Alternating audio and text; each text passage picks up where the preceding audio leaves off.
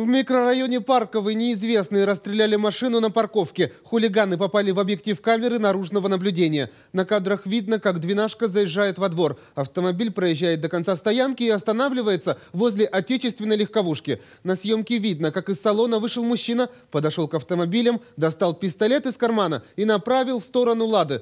В лобовое стекло автомобиля он выпустил шесть пуль. Предположительно стрелял из травматического оружия. После этого быстро вернулся в машину и злоумышленник злоумышленники скрылись. По словам хозяина пострадавшей «шестерки», за день до инцидента он застал на парковке у дома молодых людей, снимающих колеса с припаркованных иномарок. Расстрел своего авто мужчина воспринимает как попытку мести.